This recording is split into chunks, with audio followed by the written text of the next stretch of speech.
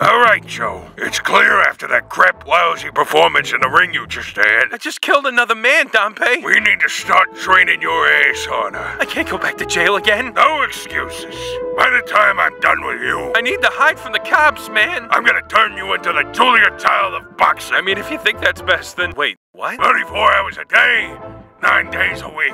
You're gonna eat lightning, and you're gonna have catastrophic diarrhea. I don't think I'm following the metaphors here, coach. You'll float like a butterfly, sting like herpes. What? Like my herpes. The herpes that is my cross to bear every day of my life. I don't need to hear- I haven't felt the touch of a woman in decades, Joe. What the f is going on? You'll be dodging blows like I dodge the IRS every year. I, I think I get the picture, Danpei. You'll make them bleed like it's their time of them. And I lost it. leaving them bruised like the last banana on the bundle that everyone forgot and got too bad to eat.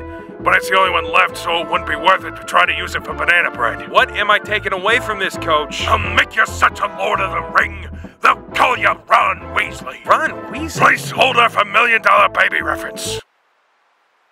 I'll have you throwing punches like a cheerleader on prom night that wants to make it about her. What? I've seen the event horizon, Joe. The f does this have to do with boxing? We live on a placid island of ignorance in the midst of black seas of infinity, and it was not meant that we should voyage far. Uh. I taste copper. Wait, what? Joe, call an ambulance. I'm having a stroke. Oh, shit. Oh, God.